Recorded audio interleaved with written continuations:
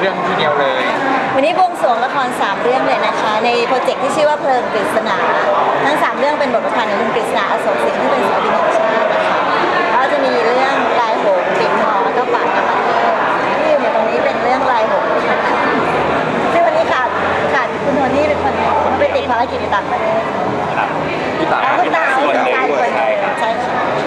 ทำไมพี่ชอนคิดทั้งสามเรื่องนี้มา เราตั้งใจจะเป็นเป็นละครที่แตกต่าง แล้วก็เราค่อนข้างเราค่อนข้างให้ความสำคัญกับความเป็นมนุษย์นะคะเราเราไม่อยากทำละครที่เป็นละครละคร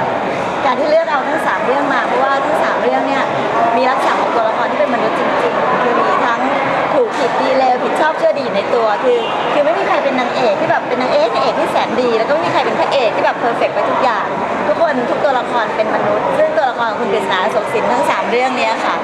จะเป็นเรื่องของการที่เราได้เห็นความเป็นมนุษย์เนี่ยชัดเจนมากว่ามนุษย์ทุกคนมันมีมีผิดมีพลาดมีดีมีเลวมีคือไม่มีใครเป็นแบบขาวจัดดำจัดนะคะทุกคนเป็นสีเทาในตัวเอง แล้วก็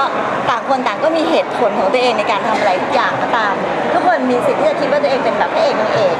ในความรู้สึกของตัวเอง แต่ในความรู้สึกของฝั่งตรงข้ามมันอาจจะผู้ร้ายก็ได้คนดี แสดงค่ะ ครับ ก็ต้องบอกว่ามีการเตรียมตัวกันมานานมากสำหรับแบบ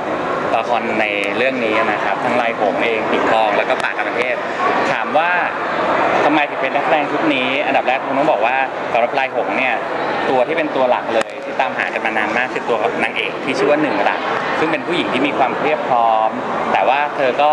ใช้ความสวยความ perfectของเธอในทางที่ถูกแบบบ่มเรียกว่าถูกถูกปลูกฝังปลูกสอนมาจากครอบครัว ซึ่งเนี่ยพ่ออะไรเงี้ยคือพี่บีซึ่งวันนี้ก็ไม่ได้มาด้วยนะครับ ซึ่งเรามองแล้วว่าเฮ้ยรถเมล์น่าจะเป็นผู้หญิงเป็นนางเอกหนึ่งหลักที่สามารถแบบทำให้เราได้เห็นอีกหนึ่ง character ของตัวละครได้นะครับในเรื่องของการความสามารถทางการแสดงคงไม่ต้องพูดถึง แต่ในเรื่องของบทบาทของตัวหนึ่งหลักเนี่ยรับรองว่าเราจะไม่เคยเห็นรถเมล์เล่นบทแบบนี้มาก่อนนะครับ เธอจะมาพร้อมกับพระเอกอีก 4 คน ใช้พระเอกเปลืองมากนะครับก็จะมีทั้งคุณโทนี่นะครับคุณนัทนะครับ แล้วก็มีพี่สาวแล้วก็มีคุณเจสัญญานะครับ ซึ่งพระเอกทั้ง 4 คนเนี้ยจะเป็นผู้ชายที่ผ่านผ่านเข้ามาในชีวิต ซึ่งแต่ละคนจะมี character ที่แตกต่าง มีทั้งผู้ชายที่แสนดีอบอุ่น มีทั้งผู้ชายที่แบบว่าพร้อมจะให้ปรนเปรอมีผู้ชายที่พร้อมจะให้ทั้งโอกาสและชื่อเสียงเงินทองอะไรอย่างเงี้ยครับมากมายก็ก็ต้องติดตามครับซึ่งซึ่ง กำกับโดยพี่โอนะคะคุณกระเทพเป็นผู้กำกับของเราค่ะเดี๋ยวเป็นไงคะทำงานก็ตอนนี้เป็นกล้องไปแล้วดีใจนะครับเปิดกล้องไปแล้วก็เราก็จะพยายามถ่ายทอดตัวบทประพันธ์นะครับ พยายามจะเก็บทุกรายละเอียดเนาะความสนุกความอ่าแง่คิดแง่สอน ซึ่งซึ่งในเรื่องรายผมเนี่ยจะดีมากในเรื่องของการมันพูดถึงเรื่องการที่ว่าพ่อแม่ทำร้ายฉันคือการสอนลูกที่ผิด ก็จะทำให้เด็กคนหนึ่งที่เป็นผ้าขาวเนี่ยถูกย้อมไปได้เรื่อยๆเรื่อยๆเรื่อยๆจนจนจนถึงจุดดำดิ่งถามพี่ลูกปีบ้าง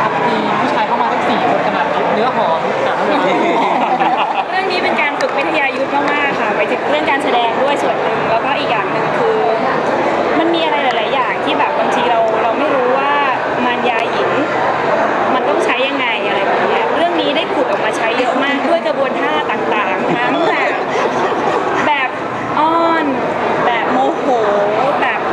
รูปแบบรักคือมีมีทุกแบบอะค่ะ โดยวิทยายุทธ์พี่โอที่สอนมาอย่างกับพี่โอเป็นผู้เชี่ยวชาญมากๆ คือคือเล่นไปบอกว่าท้ายแล้วจบเรื่องนี้ไปหนูจะมีวิทยายุทธ์ในการรู้จักโลกรู้จักผู้ชายอีกเยอะมากสำหรับเรื่องเนี้ย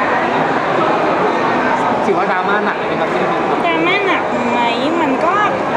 มันต้องแยกอารมณ์เวลาเล่นกับนักแสดงผู้ชายแต่ละคนเพราะ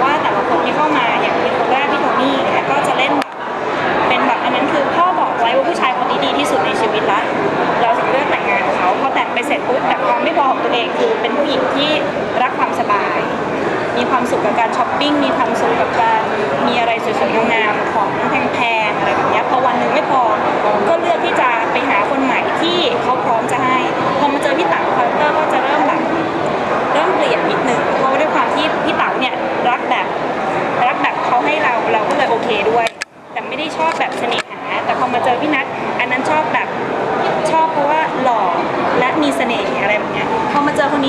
ฉันทีได้ไหม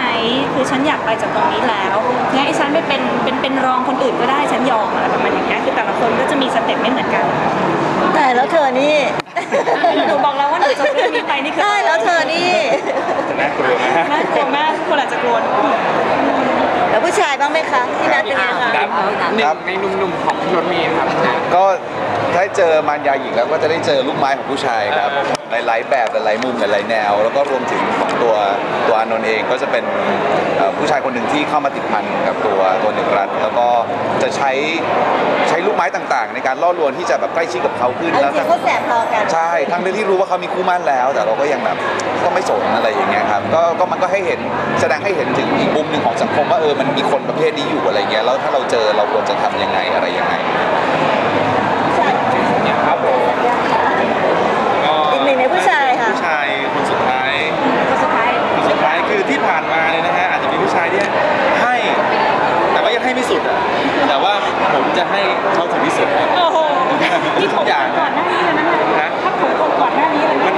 ดับสิฮะละครเรา มันมีระดับเลเวลที่แบบหนักหน่วงขึ้นเรื่อยๆค่ะก็ก็อยากให้ได้ดูกันค่ะ เพราะว่าพวกเราทุกคนที่อยู่ตรงนี้แล้วก็ทีมงานเบื้องหน้าเบื้องหลังอีกมากมายเราบอกว่าเราเราตั้งใจกันมากอะนะคะสำหรับงานแต่ละชิ้นที่จะออกไปแล้วก็มาถึงวันนี้